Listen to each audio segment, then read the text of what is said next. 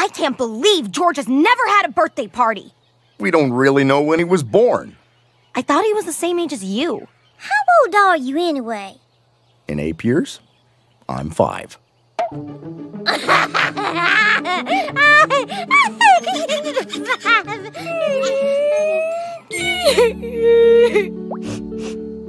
the happiest memories of my whole life are at my birthday parties. Uh, mine too.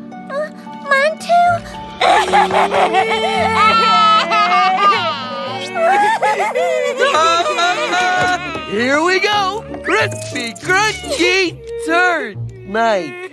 Hey, uh, what's wrong?